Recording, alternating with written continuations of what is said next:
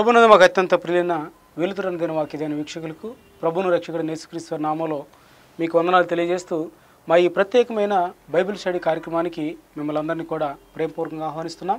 నాణ్యమైన మరియు వివరణాత్మకమైన బైబిల్ యొక్క బోధన అందించడం మా ఈ కార్యక్రమం యొక్క ముఖ్య ఉద్దేశమైనది. మాతో కలిసి ప్రతిదిన మీరు పరిశుద్ధ లేఖనాన్ని ధ్యానిస్తున్న విధానాన్ని బట్టి ప్రభుని మేము ఎంతగానో స్థుతిస్తూ ఉన్నాం. రండి ఈరోజు మన వాక్య ధ్యానాంశంలో భాగంగా యోహాన్ సువార్త పదిహేడు అధ్యాయం అంతా అంటే మొట్టమొదటి నుంచి ఇరవై ఆరు వచనాలు మనం ధ్యానించాలి. యోహాన్ వార్త పదిహేడు అధ్యాయానికి యేసుక్రీ ఒక ఒక పేరు పెడతారు. ఆ పేరు ఏంటంటే ప్రధాన యాజకుని యొక్క సుదీర్ఘమైన ప్రార్థన. అంటే దాన్ని ఏమంటారంటే జీసస్ లాంగెస్ట్ ప్రేయర్ యేసుక్రీస్తు ప్రభువారి యొక్క సుదీర్ఘమైన ప్రార్థన. అంటే ఈ అధ్యాయం అంతా కూడా యేసుక్రీస్తు ప్రభువారి యొక్క ప్రార్థనగా మనకి కనిపిస్తుంది. అయితే యేసుక్రీస్తు ప్రభువారి యొక్క ప్రార్థన గురించి మనం జాగ్రత్తగా ఆలోచిస్తే ఏ విషయాలకు ఆయన అధిక ప్రాధాన్యత ఇచ్చాడు? వేటి కోసం ఆయన తన జీవితం యొక్క చివరి గడియల్లో అంటే మరికొద్ది రోజుల్లో ఆయన ఈ లోకం నుంచి వెళ్ళిపోతాడు సిలువేయబడతాడు పాపాత్మల చేతికి అప్పగించబడతాడు. కాబట్టి ఆయన కొన్ని ప్రాముఖ్యమైన అంశాల గురించి ప్రార్థన చేస్తున్నాడు. అంతకుముందే తన శిష్యులకి ఒక మోడల్ ప్రేయర్ నేర్పించాడు. ఏంటి ఆ మోడల్ ప్రేయర్ అంటే పరలోక ప్రార్థన నేర్పించాడు. యేసుక్రీస్తు ప్రభు ఇప్పుడు వేటి కోసం ప్రార్థన చేస్తున్నాడో మనం జాగ్రత్తగా కనుక అర్థం చేసుకుంటే మనం కూడా జీవితంలో వేటికి మనం అధిక ప్రాధాన్యత ఇవ్వాలి వేటికి మనం అధిక ప్రాధాన్యత ఇవ్వకూడదు. ఒకవేళ దేవుడు ప్రాధాన్యత ఇవ్వని వాటికి ఒకవేళ మనం ఎక్కువ ప్రాధాన్యత ఇస్తూ ఉంటే చాలా ఆత్మీయ నష్టాన్ని మనం కొని తెచ్చుకున్న వారు అవుతాం. కాబట్టి యేసుక్రీస్తు ప్రభు యొక్క ప్రార్థన కనుక మనం ఈ పదిహేడు అధ్యాయం జాగ్రత్తగా ధ్యానం చేస్తే ఈ మొదటి నుంచి ఇరవై ఆరు వచనాలు చూస్తే యేసుక్రీస్తు ప్రభువారు మూడు విషయాల గురించి ప్రార్థన చేసినట్టుగా మనకు అర్థమవుతుంది. మొట్టమొదటి వచనం నుంచి పదిహేడు అధ్యాయం మొదటి నుంచి ఐదు వచనాలు కనుక మనం చూస్తే యేసుక్రీస్తు ప్రభువారు తన గురించి తను ప్రేయర్ చేసుకోవటం మనకు అర్థమవుతుంది. అంటే జీసస్ ప్రేస్ ఫర్ హిమ్సెల్ఫ్. తన గురించి తను ప్రార్థన చేసుకోవటం మొదటి ఐదు వచనాలు. ఆరో వచనం నుంచి పంతొమ్మిదో వచనాన్ని కనుక మనం చూస్తే యేసుక్రీస్తు ప్రభువారు తన శిష్యుల గురించి ప్రార్థన చేయటం. తర్వాత పంతొమ్మిదో వచనం నుంచి చిట్ట అంటే ఇరవై వచ్చిన నుంచి ఇరవై ఆరు వచ్చిన కనుక మనం చూస్తే యేసుక్రీస్తు ప్రభువారు లోకంలో ఉన్న విశ్వాసులందరి గురించి ప్రార్థన చేయటం మనం చూస్తాం. అంటే యేసుక్రీస్తు ప్రభువారి ప్రార్థనలో మనకి మూడు విషయాలు అర్థమవుతున్నాయి. ఒకటి మొదటి ఐదు వచనాలేమో ఆయన తన గురించి తను ప్రార్థన చేసుకోవడానికి చెప్పాడు. తర్వాత ఆరో వచనం నుంచి పంతొమ్మిదో వచనం వరకు చూస్తే అంటే ఎక్కువ వచనాలు ఆయన తన శిష్యుల గురించి ప్రార్థన చేయటం చూస్తాం. అంటే ఆయన ప్రార్థనలో ఇది ఒక భాగం మనకు కనిపిస్తుంది చిట్ట చివరి భాగంగా ఇరవై వచనం నుంచి ఇరవై ఆరో వచనం వరకు మనం చూస్తే యేసుక్రీస్తు ప్రభువారు ఈ లోకంలో ఉన్న బిలీవర్స్ అందరి గురించి ప్రార్థన చేయటం మనం చూస్తున్నాం. అయితే తన గురించి ఏమని ప్రార్థన చేసుకున్నాడు? శిష్యుల గురించి ఏమని ప్రార్థన చేశాడు? తర్వాత లోకంలో ఉన్న విశ్వాసుల గురించి యేసుక్రీస్తు ప్రభు ఏమని ప్రార్థన చేసుకున్నాడో మనం లేఖనాల్లో చూద్దాం రండి. మొదటి ఐదు వచనాలు చూస్తే యేసుక్రీస్తు ప్రభు తన గురించి తను ప్రార్థన చేసుకోవటం. చూడండి యేసు ఈ మాటలు చెప్పి ఆకాశం వైపు కన్నులెత్తి ఇట్లా నేను తండ్రి నా గడియ వచ్చి ఉన్నది నీ కుమారుడు నిన్ను మహింపరిచినట్లు నీ కుమారుని మహింపరచుము. నీవు నీ కుమారునికి ఇచ్చిన వారికి అందరికీ ఆయన నిత్యజీవం అనుగ్రహించినట్లు సర్వ శరీరుల మీదను ఆయనకు అధికారం ఇచ్చితివి. యేసుక్రీస్తు ప్రభు ఏమన్నారంటే తండ్రి నా గడి వచ్చింది. అంటే ఈ భూమి మీద నన్ను ఒక పని నిమిత్తం నువ్వు పంపించావు. అంటే Jesus praise for his mission. ఆయన యొక్క పని గురించి ఆయన వచ్చిన ఉద్దేశాన్ని గురించి ప్రార్థన చేస్తున్నాడు. అయ్యా నా గడి వచ్చింది. అయితే నువ్వు చేయాల్సిన పని ఏంటంటే నీ కుమారుడు నిన్ను మహింపరిచినట్లుగా అంటే నువ్వు నాకు చేయటానికి ఇచ్చిన పని యావత్తు నేను చేశాను. నా పని నేను చేసి ఈ భూమి మీద నీ నామాన్ని మహింపరిచాను. ఆ రీతిగా నేను ఏ విధంగా అయితే నీ నామాన్ని మహింపరిచానో నువ్వు కూడా నా నామాన్ని మహింపరచు. యేసుక్రీస్తు ప్రభు ఎందుకని తన నామాన్ని మహింపరచాలని అనుకుంటున్నాడంటే ఈ నిత్యత్వం నుంచి నిత్యత్వం వరకు.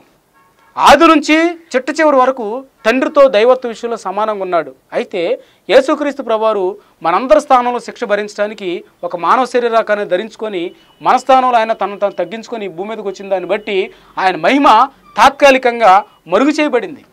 ఎందుకోసం అంటే ఆయన శరీరధారిగా ఉన్నాడు. పాపాత్ములకి ప్రాతినిధ్యం వహించుకుంటూ వాళ్ళ పక్షంగా శిక్ష భరించబోతున్నాడు. కాబట్టి ఆయన మహిమ ఏమైందంటే ఈ భూమి మీద మహిమ మరుగు చేయబడింది. యేసుప్రభు ఏమన్నారంటే ఏ ఏ విధంగా అయితే ఈ భూమి మీద నా నామం మహిమ మరుగు చేయబడిందో ఆ విధంగా నువ్వు మళ్ళీ తిరిగి ఆ మహిమను బహిర్గతం చెయ్యి ఇదివరకు నీ దగ్గర ఏ మహిమ అవుతుందో అదే మహిమ మీరు మళ్ళీ నువ్వు నాకు అనుగ్రహించు. ఆ మహిమ దేవదూతలు గ్రహించాలి ఆ మహిమ లోకం గ్రహించాలి ఆ మహిమ ఎవరైతే నన్ను మరణానికి అప్పగిస్తున్నారో ఎవరైతే నన్ను చిత్రహింసలు గురి చేస్తున్నారో ఆ లోకం కూడా ఆ శత్రువులు కూడా నన్ను ఆ మహిమను గుర్తించాలి. అని యేసుక్రీస్తు ప్రభువారు తన మహిమను గురించి ప్రార్థన చేసుకున్నాడు. తర్వాత చూస్తే నీవు నీ కుమారునికి ఇచ్చిన వారికి అందరికీ ఆయన నిత్యజం అనుగ్రహించినట్లు సర్వ శరీరుల మీదను ఆయనకు అధికారం అనుగ్రహించితివి. అంటే నీ కుమారుడు నిన్ను మయంపరిచినట్లే ఎలా మయంపరుస్తాడంటే రెండు మూడు వచనాల్లో దానికి ఆన్సర్ ఉంది మనకి. రెండు మూడు వచనాలు చూస్తే రెండో వచనంలో ఈ విధంగా ఉంది. ఏమనంటే సర్వ మానవాళిపై అధికారం అనుగ్రహించావు. మూడో వచనంలో కనుక మనం చూస్తే అద్వితీయ సత్యదేవుడు నిన్నును నీవు పంపిన యేసుక్రీస్తు నెరుగుటయ్యే నిత్యజీవం. అంటే నిత్యజీవానికి ఒక డెఫినేషన్ యేసుక్రీస్తు ప్రభు చెప్తున్నారు. ఒకటి నీ నువ్వు యేసుక్రీస్తు ప్రభు వారి యొక్క నామాన్ని నీ కుమారుడు నిన్ను ఏ విధంగా మయంపరిచాడంటే సర్వ మానవాళి మీద అధికారం ఇచ్చావు. ఆ అధికారంతో నేను నిత్యజీవం ఇచ్చాను. ఏంటి నిత్యజీవం అంటే ఎవరైతే యేసుక్రీస్తు ప్రభువారిని రక్షకుడికి అంగీకరించారో ఆ రక్షకుడికి అంగీకరించిన ప్రతి వ్యక్తి దేవుని చూస్తున్నాడు. దేవుని చూసిన ప్రతి వ్యక్తి నిత్యజీవాన్ని పొందుకుంటున్నాడు. కాబట్టి ఆ విధంగా యేసుక్రీస్తు ప్రభువారు నిన్ను తండ్రిని మయంపరిచినట్లుగా మనం చూస్తున్నాం. చూడండి నీవు నీ కుమారునికి ఇచ్చిన వారందరికీ ఆయన నిత్యజీవం అనుగ్రహించినట్లు సర్వ శరీరుల మీదను ఆయనకు అధికారం ఇచ్చావు. కాబట్టి నీవు ఇచ్చిన అధికారాన్ని బట్టి ప్రతి వ్యక్తి నిత్యజీవంలోనికి ప్రవేశించబోతున్నాడు ప్రతి వ్యక్తి నిత్యజీవాన్ని పొందుకుంటున్నాడు. ఆ విధంగా యేసుక్రీస్తు ప్రభువారు ప్రభువారిని తండ్రి మహింపరిచాడు తండ్రి కూడా యేసుక్రీస్తు ప్రభువారిని మహింపరిచినట్లుగా మనం చూస్తున్నాం. ఐదో వచ్చిన నాలుగో వచ్చిన చూస్తే చేయుటకు నీవు నాకు ఇచ్చిన పని నేను సంపూర్ణంగా నెరవేర్చి భూమి మీద నిన్ను మహింపరిచితిని. చేయుటకు నువ్వు నాకు ఏ పని అయితే ఈ భూమి మీద అప్పగించావో ఆ పని యావత్తు ఈ భూమి మీద నేను నెరవేర్చా. నువ్వు నాకు శ్రమలు ఇచ్చావు వాటిని నేను భరించా. నువ్వు నాకు ఉపద్రవాలు ఇచ్చావు వాటిని నేను భరించా. నువ్వు నాకు సిలువ శిక్షణ వేసావు పాపాత్మలకు ప్రతిగా ఆ సిలువ శిక్షణ కూడా నేను భరించా. నువ్వు ఏదైతే బోధించమన్నావో అది నేను బోధించా. నువ్వు ఏదైతే క్రియలు చేయమన్నావో ఆ మహత్కార్యాలు సూచిక్రియలు అవన్నీ చేశా నీ భూమి మీద నీ నామాన్ని మహింపరిచా. నా కోసం నేనేమీ చేసుకోలేదు ఈ భూమి మీద నువ్వు ఏదైతే చెప్పావో అదే నేను చేసి నీ నామాన్ని మహింపరిచాను తండ్రి. కాబట్టి ఆయన అంటున్నాడు ఐదో వచనంలో లోకం పుట్టక మునుపు నీ యొద్ద నాకు ఏ మహిమ ఉండునో ఆ మహిమతో నన్ను ఇప్పుడు నీ యొద్ద మహింపరచుము. అంటే యేసుక్రీస్తు ప్రభువారు తన మహిమ మరుగు చేయబడిందని భూమి మీద తాత్కాలికంగా. మరలా మహిమ లోకానికి బహిర్గతం అవ్వాలని తండ్రిని రిక్వెస్ట్ చేసుకున్నాడు. కాబట్టి యేసుక్రీస్తు ప్రభువారు తన గురించి తను చేసుకున్న ప్రార్థన కనుక మనం చూస్తే ఒక్కటి కూడా భౌతిక సంబంధమైంది మనకు కనిపించదు. ఒక్కటి కూడా ఫిజికల్ థింగ్ అనేది మనకు కనిపించదు. అన్నీ కూడా ఆత్మ సంబంధమైన విషయాలే ఆయన ప్రార్థనలు మనకి అర్థమవుతూ ఉంటాయి. ఏంటి ఆత్మ సంబంధమైన విషయాలంటే యేసుప్రభర్ అన్నారు సర్వ మానవాళిని రక్షించడం కోసం సర్వ మానవాళికి నువ్వు నిత్య జీవనం ఇవ్వటం కోసం నీ కుమారుడికి నువ్వు అధికారం అనుగ్రహించావు. ఎవరైతే యేసుక్రీస్తు ప్రభుని అంగీకరిస్తున్నారో వాళ్ళందరికీ దేవుడు నిత్య జీవాన్ని అనుగ్రహించాడు. కాబట్టి ఇదివరకు ఉన్నటువంటి మహిమను ఇదివరకు ఉన్నటువంటి గ్లోరీని మరలా నీవు నాకు అనుగ్రహించు. ఇది ఆత్మ సంబంధమైన ప్రార్థన. దేవుడు మనకి ఒక మోడల్ ప్రేయర్ని ఇక్కడ చూపిస్తున్నాడు. ఒక ప్రధాన యాజకుని యొక్క విజ్ఞాపన ఏ విధంగా ఉందో చూడండి. తన గురించి తను ప్రార్థన చేసుకునేటప్పుడు ఇదిగో ఈ సిలువ శిక్షను నా దగ్గర నుంచి తీసిపోయాను అడగట్ల. దేవుడు అన్నాడు ఏ మహిమ అయితే గతం నుంచి మన ఇద్దరికి ఉందో అదే మహిమను నువ్వు మరలా తిరిగి నాకు అనుగ్రహించు. నువ్వు నాకు అనుగ్రహించిన వారు ఎవరిని నేను పోగొట్టుకోను? వారందరిని నిత్య జీవానికి నేను పాత్రలుగా చేస్తాను. అట్టి అధికారం నువ్వు కుమారునికి అనుగ్రహించావు. ఆ కుమారుడు నిన్ను మయంపరిచాడు నువ్వు కూడా నీ కుమారుని మయంపరచు నువ్వు నాకు ఇచ్చిన పని ఆవత్తులు చేశా. ఇంకేం మిగలలేదు. కాబట్టి ఆ పనిని బట్టి నేను నిన్ను మయంపరిచాను ఆ మహిమను మరలా నువ్వు నాకు బహిర్గతం చేయని యేసుక్రీస్తు ప్రభువారు తన మహిమను గురించి తండ్రికి ప్రార్థన చేయటం మనం చూస్తూ ఉంటున్నాం. ఇది ఆత్మ సంబంధమైన ప్రార్థనగా మనం పరిగణించాలి. ఆరో వచనం నుంచి కనుక పంతొమ్మిది వచనాలు చూస్తే మరలా యేసుక్రీస్తు ప్రభువారు తన గురించి ప్రార్థన చేసుకోవటం ఆపి తన శిష్యుల గురించి ప్రార్థన చేస్తున్నాడు. చూడండి ఆరో వచనం చూస్తే లోకము నుండి నీవు నాకు అనుగ్రహించిన మనుషులకు నీ నామమును ప్రత్యక్షపరిచితిని.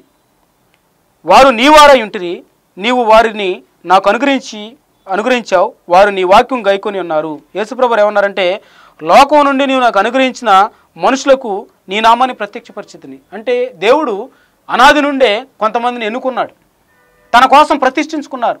దేవుడు తన వారిని ఎవరిని పోగొట్టుకోడు. వారు ఏ జనాంగంలో ఉన్నప్పటికీ ఏ దేశంలో ఉన్నప్పటికీ ఏ ప్రజానికులు వాళ్ళు బ్రతుకుతున్నప్పటికీ దేవుడు తన వారిని సమకూర్చుకుంటాడు. అంటే యేసుక్రీస్తు ప్రభు వారికి కొంతమందిని దేవుడు అనుగ్రహించాడు. అనుగ్రహించిన వారిని ఆయన ఏమాత్రం కూడా పోగొట్టుకోడు అని దేవుడు ఆరో వచనంలో సెలవిస్తూ ఉన్నాడు.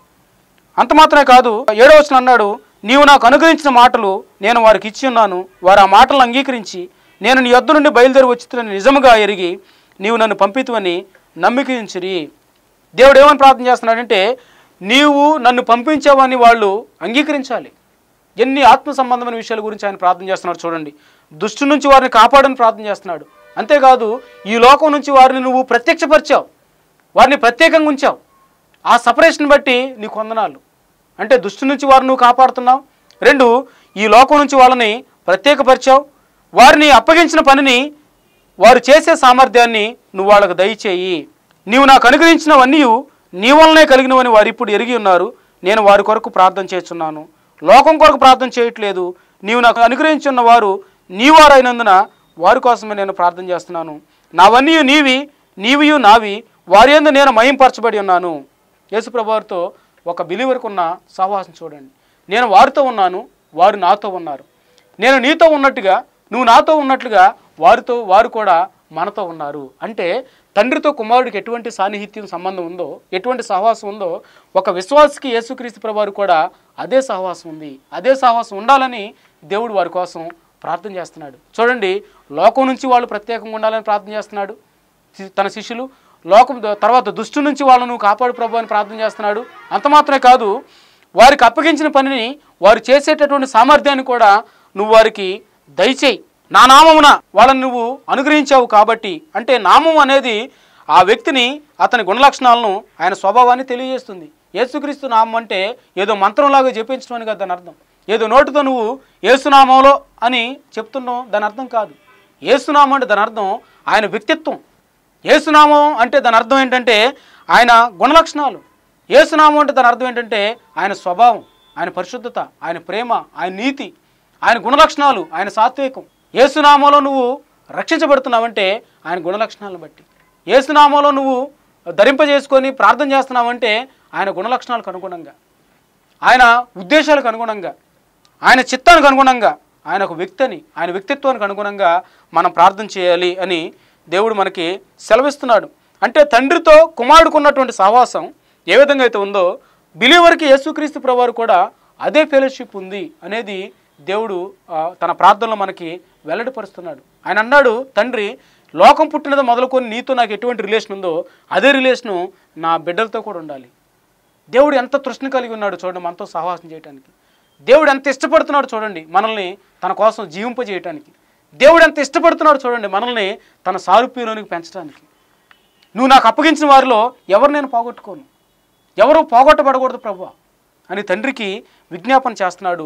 అంత మాత్రమే కాదు తండ్రి యొక్క సంకల్పం ఈ భూమి మీద నెరవేరాలని కుమారుడు మనస్ఫూర్తిగా కోరుకుంటున్నాడు. చూడండి పన్నెండవ చూస్తే నేను వారి యొద్ద ఉండగా నీవు నాకు అనుగ్రహించిన వారిని నీ నామందు కాపాడితిని నేను వారిని భద్రపరిచితిని కనుక లేఖను నెరవేరినట్లు నాశనపుత్రుడు తప్ప వారిలో మరి ఎవడును నశింపలేదు. దేవుడు ఏమన్నాడంటే నాశనపుత్రుడు ఒక్కడే నశించిపోతున్నాడు. నువ్వు నాకు అప్పగించిన వారిలో ఎవరు కూడా నశించు నశించటానికి వీల్లేదు. ఎవరు కూడా నశించరు. అంటే దేవుడు ఒక వ్యక్తిని రక్షించుకున్నప్పుడు తన రక్షణను వెనక్కి తీసుకోడు.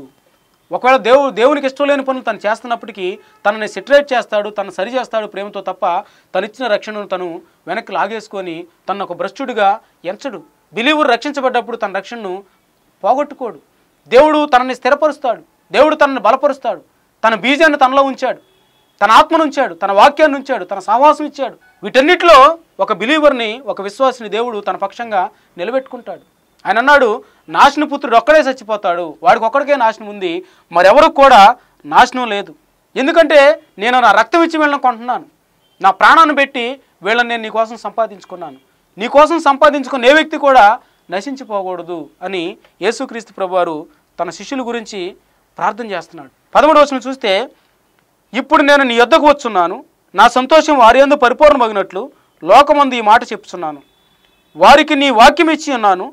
నేను లోక సంబంధిని కానట్టు వారు కూడా లోక సంబంధులు కారు గనుక లోకం వారిని ద్వేషించును. దేవుడు అన్నాడు నేను నీ వాక్యాన్ని వాళ్ళకి ఇచ్చాను. నీ వాక్యాన్ని వాళ్ళకి ఇచ్చాను. నేను లోక సంబంధిని కానట్టుగానే నా బిడ్డలైన ఈ శిష్యులు కూడా లోక సంబంధులు car. They are the separated people వారు లోకం నుంచి వేరు చేయబడ్డారు లోకం నుంచి ప్రత్యేకించబడ్డారు. ఈ ప్రత్యేకించబడిన జనాంగం రాజులైన యాజక సమూహం దేవుని సొత్తైన ప్రజలు దేవుని శిలు రక్తం చేత వెలపెట్టి కొనబడిన ప్రజలు దేవుడు విమోచించుకున్న జనాంగం. కాబట్టి లోకం ఏం చేస్తుందంటే వారిని ద్వేషిస్తుంది. ఎందుకని వారిని ద్వేషిస్తుందంటే నన్ను ద్వేషిస్తుంది ప్రభా నన్ను ద్వేషిస్తుంది. కాబట్టి వారికి నేను నీ వాక్యాన్ని ఇచ్చా నీ వాక్యం ద్వారా వాళ్ళు బలపడాలి. నీ వాక్యం ద్వారా వాళ్ళు పోషించబడాలి. నీ వాక్యం ద్వారా వాళ్ళు నీ యొక్క ఉద్దేశాలు ఏంటో గ్రహించాలి. దేవుని ఉద్దేశాలు మనం గ్రహించాలంటే దేవుని చిత్తం మనం గ్రహించాలంటే దేవుని సంకల్పాలు మన జీవితం పక్షంగా మనం గ్రహించాలంటే మనకున్న ఒకే ఒక ఆధారం దేవుని పరిశుద్ధ వాక్యం. ఆయన వాక్యంలో తను ఎవరో మనకి రివీల్ చేసుకున్నాడు బహిర్గతపరిచాడు. తను ఏమై ఉన్నాడో తన ఉద్దేశాలు ఏంటో తన ఇష్టం ఏంటో తనకి ఏది ఇష్టం కాదో దేవుడు తన వాక్యం ద్వారా తన గురించి తను బయలుపరుచుకున్నాడు. వాక్యానికి మించి నీకు కొత్తగా ఏమైనా అర్థం కాడు. దేవుడు అన్న యేసుప్రభు అన్నాడు నీ వాక్యం నేను వాళ్ళకి ఇచ్చా. ఆ వాక్యాన్ని వాళ్ళు తమ హృదయంలో బద్ధం చేసుకుంటున్నారు. ఆ వాక్యాన్ని చదువుతున్నారు నీ గురించి వాళ్ళు అర్థం చేసుకుంటున్నారు. కాబట్టి లోక వారిని ద్వేషిస్తుంది. ఎందుకంటే వాళ్ళు లోక సంబంధులు కాదు. వారు లోకం యొక్క ఇచ్చలను నెరవేర్చరు. వారు లోకం యొక్క ఉద్దేశాలను నెరవేర్చరు. లోకం వాళ్ళని ఎరగదు వాళ్ళు ఎప్పటికి కూడా అర్థం చేసుకోదు. ఎందుకంటే వీళ్ళు వెలుగు సంబంధులు. లోకమేమో చీకటి సంబంధంగా బ్రతుకుతుంది. చీకటికి వెలుగుతో పొత్తు ఎలా ఉంటుంది? ఒక విశ్వాసకి అవిశ్వాసతో పొత్తు ఉండదు. వాళ్ళు అర్థం చేసుకోలేరు. విశ్వాసుకున్న ప్రాధాన్యతలు వేరు. విశ్వాసుకున్న దేవుడు వేరు. అవిశ్వాసుకున్న ప్రాధాన్యతలు వేరు. అవిశ్వాస యొక్క ఉద్దేశాలు వేరు. వాళ్ళ దృష్టి ఈ భూమి మీదే ఉంటుంది. ఒక విశ్వాస దృష్టి ఈ భూ సంబంధమైన వాటి మీద ఉండదు. పరలోక రాజ్య సంబంధమైన వాటి మీద ఉంటుంది. నీతి నిమిత్తం ఉంటుంది. దేవునికి మహిమ తెచ్చే పనుల నిమిత్తం ఉంటుంది. లోకం ఇవేమి పట్టించుకోదు కాబట్టి ఒక విశ్వాసినంట లోకం ద్వేషిస్తుంది. యేసుక్రీస్తు ప్రభు వారి యొక్క శిలువ మరణం ఏం చేసిందంటే తండ్రికి మహిమ తీసుకొచ్చింది. తండ్రికి ఏ విధంగా మహిమపరిచిందంటే క్రీస్తు శిలువు మరణం తండ్రికి మహిమ తెచ్చింది. అది ఆయన జ్ఞానాన్ని విశ్వాసతను పరిశుద్ధతను మరియు ప్రేమను మహింపరిచింది. అంతమాత్రం కాదు తాను నీతిమంతుడిగా ఉంటూ భక్తిహీనులను నీతిమంతులుగా తీర్చడానికై ఒక ప్రణాళికను సిద్ధపరిచిన ఆయనను జ్ఞానవంతునిగా అది చూపించింది. అంటే యేసుక్రీస్తు ప్రభు యొక్క శిలువ తండ్రిని మహింపరిచింది. ఒక అవిశ్వాసి ఎలా రక్షించబడుతున్నాడు? ఏ విధంగా రక్షణ మార్గాన్ని దేవుడు ఏర్పాటు చేశాడో దాన్ని ఆ- ఆ జ్ఞానాన్ని బట్టి తండ్రిని శిలువ మహింపరిచింది. అంత మాత్రమే కాదు యేసుక్రీస్తు ప్రభు యొక్క శిలువ కుమారుని కూడా మహింపరిచింది. ఎలా మహింపరిచిందంటే ఆయన కనికరాన్ని ఆయన సహనాన్ని యేసుక్రీస్తు ప్రభు యొక్క శక్తిని అధికారాన్ని మహింపరిచింది. మన కొరకు మరణించి మనకు బదులుగా శ్రమను అనుభవించి మన నిమిత్తం తన్ను తాను పాపంగాను శాపంగాను అగటానికి అప్పగించుకొని మనలను విమోచించడానికై తన సొంత రక్తాన్ని వెలగా చెల్లించిన ఆయనను అత్యంత కనికరం గలవాడుగా సిలువ చూపించి ఆయన మహింపరిచింది. ఒకటి తండ్రిని మహింపరిచింది. రెండు ఆయన ఆయన్నే మహింపరుచుకుంది. తన ఉద్దేశాలను చూపించింది. తన ప్రాధాన్యతలు చూపించింది. యేసుక్రీస్తు ప్రభు కలువరిలో సిలువలో ప్రాణం పెట్టినప్పుడు యేసుక్రీస్తు ప్రభు యొక్క సిలువ తండ్రితో మనం పోగొట్టుకున్న సంబంధాన్ని బలపరిచింది. దేవుడు అందుకని అన్నాడు లోకం నన్ను ద్వేషించినట్టుగానే నా బిడ్డలు కూడా ద్వేషిస్తుంది. నేను నిన్ను మహింపరచడం లోకానికి ఇష్టం లేదు. నా బిడ్డలో నన్ను మహింపరచడం లోకానికి ఇష్టం ఉండదు. కాబట్టి ఆ ద్వేషం వాళ్ళకి వస్తుంది. ఆ ద్వేషం తట్టుకునే శక్తిని వారికి మీరు దయచేయండి అని తన శిష్యుల గురించి యేసుక్రీస్తు ప్రభు ప్రార్థించడం మనం చూస్తున్నాం. పదహారో పదిహేను వచనం చూస్తే నీవు లోకంలో నుండి వారిని తీసుకొని పొమ్మని నేను ప్రార్థించట్లేదు కానీ దుష్టు నుండి వారిని కాపాడమని ప్రార్థన చేస్తున్నాను. చూడండి శిష్యుల గురించి యేసుప్రభు ఏమని ప్రార్థన చేస్తున్నాడు? లోకంలో శ్రమలు ఉన్నాయని లోకంలో వెలివేతలు ఉన్నాయని లోకం నుంచి ఒక బిలీవర్ని తీసుకొని వెళ్ళమని తన శిష్యుల్ని తీసుకొని వెళ్ళమని సపరేట్ చేయమని యేసుప్రభు ప్రార్థించట్లేదంట. కాగా ఏమని ప్రార్థిస్తున్నాడంట? వారిని దుష్టు నుంచి కాపాడు. దుష్టు నుంచి నువ్వు వారిని కాపాడమని నేను ప్రార్థన చేస్తున్నాను. కాబట్టి దేవుడు కొన్ని కష్టాలు మనకు అనుమతిస్తున్నప్పుడు ఆ కష్టాలను తీసివేయమని ప్రార్థించడం కంటే కూడా ఆ కష్టాల ద్వారా నేను నేర్చుకునే పాఠం ఏంటి ప్రభు? ఆ పాఠాన్ని నేను నేర్చుకునేలాగా నీ కృప నాకు దయచేయమని మనం విశ్వాసంతో ప్రభువుని అడగాలి. దుష్టు నుంచి కాపాడమని నేను ప్రార్థించున్నాను. తర్వాత పదహారు వచనం చూస్తే నేను లోక సంబంధిని కానట్టు వారును లోక సంబంధులు కారు. సత్యమందు వారిని ప్రతిష్ట చేయము నీ వాక్యమే సత్యము. చూడండి ఎన్ని విషయాల గురించి దేవుడు ప్రార్థన చేస్తున్నాడు. లో కీడు నుంచి వాళ్ళని త- దుష్టు నుంచి తప్పించమని ప్రార్థన చేస్తున్నాడు. తర్వాత సత్యమందును వారిని ప్రతిష్ఠ చేయి. అసత్యంలోనికి వాళ్ళు వెళ్ళకూడదు. శ్రమలను బట్టో అనారోగ్య కారణాలను బట్టో నష్టాలను బట్టో హింసలను బట్టో వాళ్ళు సత్య మార్గాన్ని విడిచి అసత్య మార్గంలోనికి వాళ్ళు వెళ్ళటానికి వీల్లేదు. సత్యమందును వారిని ప్రతిష్ఠిత చేయి. ఆ విధంగా వాళ్ళు ప్రతిష్ఠిత చేయబడాలి. మరియు నీవు నన్ను పంపితువని లోకం నమ్మునట్లు తండ్రి నాయందు నీవును నీ యందు నేను ఉన్నులాగన వారును మన యందు ఏకమై ఉండవలనని వారి కొరకు మాత్రం నేను ప్రార్థించట్లేదు. వారి వాక్యం వలన నాయందు విశ్వాసం ఉంచు వారందరూ ఏకమై ఉండవలనని వారి కోసం నేను ప్రార్థన చేస్తున్నాను. చూడండి పంతొమ్మిదవ వచనం కనుక వచనం వరకు కనుక మనం చూస్తే యేసుక్రీస్తు ప్రభు తన శిష్యుల గురించి ప్రార్థించిన అంశాల్లో ఒక్కటి కూడా భౌతికమైన విషయం లేదు. ఫిజికల్ థింగ్స్ గురించి యేసుక్రీస్తు ప్రభువారు తన గురించి తను ప్రార్థన చేసుకోలేదు. శిష్యుల గురించి కూడా ప్రార్థన చేసుకోలేదు. డబ్బులు కావాలి ప్రభు ఇవ్వని అడగలేదు. బంగారం కావాలి ప్రభు వీళ్ళకి ఇవ్వమని అడగలేదు. తర్వాత విలాసవంతమైన జీవితం కావాలి ఇవ్వు ప్రభు అని అడగలేదు. కాగా ఆత్మ సంబంధమైన విషయాలన్నిటి గురించి తన శిష్యుల కోసం ఆయన ప్రార్థన చేస్తున్నాడు. దృష్టి నుంచి తప్పించాలి. లోకం నుంచి వాళ్ళని ప్రత్యేకపరచాలి.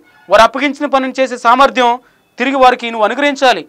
తిరిగి క్షేమంగా వాళ్ళు పరలోక రాజ్యం చేరాలి అని తన శిష్యుల కోసం యేసుక్రీస్తు ప్రభు ప్రార్థించడం మనం చూస్తున్నాం. అంతేకాదు తండ్రి నీతో వాళ్ళు సహవాసం కలిగి ఉన్నారు నాతో కూడా సహవాసం కలిగి ఉన్నారు వారిలో వారు సహవాసం కలిగి ఉండాలని ఫెలోషిప్ గురించి ప్రార్థన చేస్తున్నాడు. తర్వాత తండ్రి సంకల్పం యావత్తు తన శిష్యుల పక్షంగా నెరవేర్చబడాలని అది కష్టమైన నష్టమైన మరి ఏదైనప్పటికీ తండ్రి యొక్క సంకల్పమే వాళ్ళ జీవితంలో సిద్ధించాలని యేసుక్రీస్తు ప్రభువారు తన శిష్యుల గురించి ప్రార్థన చేస్తున్నాడు. మరి భౌతికమైన విషయాలు తిండి బట్టలు ఇవన్నీ అవసరం లేదంటే అవసరమే. బట్ వాటికంటే కూడా ప్రాముఖ్యం ప్రాముఖ్యత ఇవ్వాల్సిన విషయాలు కొన్ని ఉన్నాయి. పరలోక ప్రార్థనలో కూడా దేవుడు మనకు అదే నేర్పించాడు. భౌతికంగా ఉండే కొన్నే మనందిన ఆహారం నేడు మాకు దయచేయి. ఆత్మ సంబంధంగా ఉండాల్సినవి చాలా ఉన్నాయి. మనం ఏం చేస్తామంటే ఆత్మ సంబంధమైన అక్కర్లన్నీ కూడా పక్కన పెట్టి వదిలేసి విలువలేని వాటి కోసం క్షయమైపోయే వాటి కోసం మనతో రాని వాటి కోసం ఈ జీవితకాలం మట్టుకే మనం కొన్ని విషయాలకి ప్రాధాన్యత ఇస్తూ వాటిని మనం అడుగుతాం. లోకస్తులు వేటికైతే ప్రాధాన్యత ఇచ్చారో మనం కూడా వాటికే ప్రాధాన్యత ఇచ్చే ప్రమాదంలో చాలాసార్లు మనం చిక్కుని ఉంటాం. వాళ్ళు ఈ లోకంలో ఉన్న ధన సంపదల మీదో బంగారం మీదో అధికారం మీదో మరి దేని మీదో వాళ్ళు ప్రాధాన్యత ఇస్తారు. ఒక విశ్వాసి వాటికి అధిక ప్రాధాన్యత ఇవ్వడు. అవి నీకు కావాలని నీ పరలోకపు తండ్రి తెలుసు. నీకు డబ్బులు కావాలి పరలోకపు తండ్రి తెలుసు. నువ్వు బ్రతకడానికి తిండి కావాలి నీ పరలోకపు తండ్రి తెలుసు. దేవుడు అన్నాడు అనేకమైన పిచ్చుకల కంటే మీరు శ్రేష్ఠులు కారా. అవి విత్తవు నాటవు కోయవు కొట్లలో కూడా దాచుకోవు. There is no bank balance పిచ్చుకలకు bank balance లేదు. అయినప్పటికీ వాటి పరలోకపు తండ్రి వాటిని పోషించట్లేదా? ఏ పక్షి అయినా ఆకలి తలమటించి చచ్చిపోయినట్టుగా మనం న్యూస్ పేపర్లో చదివామంటే ఏ పక్షి ఆకలి తలమటించి చచ్చిపోదు? ఏ జంతువు ఆకలి తలమటించి చచ్చిపోదు? ఎవరు పోషిస్తున్నారు వాటిని అంటే మనం ఒక్కరోజు కూడా పిలిచి ఒక గింజ కూడా వేయం బట్ పరలోకపు తండ్రి వాటిని పోషిస్తున్నాడు.